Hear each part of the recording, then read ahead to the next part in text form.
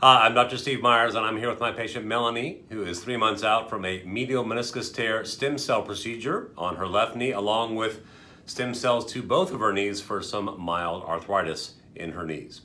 Before we talk to her, we're going to take a quick look at her imaging studies. Okay, so first off, taking a look at her x-rays. This is a standing x-ray of both of her knees. This is her right knee, and this is the left knee where she had the meniscus tear. And her x-rays look really good. She has good joint space throughout both of her knees. She does have a developing small bone spur on the inside of her left knee. Very minimal, minimal arthritic change going on on her knees by x-ray. Switching to her MRI, this is an MRI looking at her left knee. And in the middle of the knee, between the two bones here, you can see the meniscus, which is this black triangular cartilage in the front and the back of the knee. It looks kind of like a bow tie right in the middle of the knee. If we zoom in, you can see this meniscus bow tie right in the middle of the knee. Again, this is the lateral meniscus, healthy looking normal meniscus on the outside of her knee.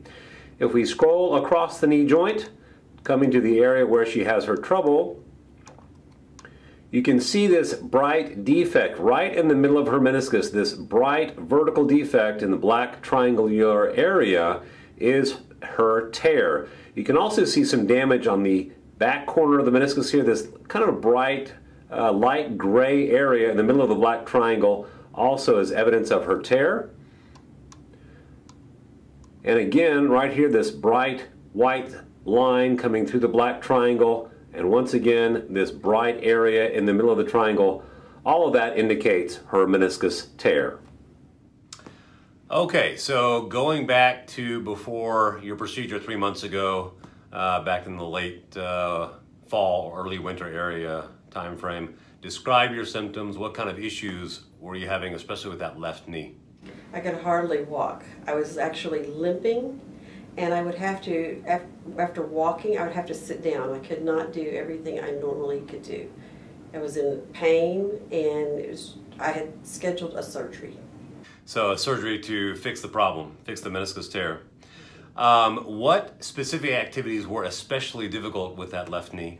Oh, just walking. Every day walking, everything was difficult. Going up a stair, trying to do housework, um, shopping, I had trouble with everything. I was limping pretty badly.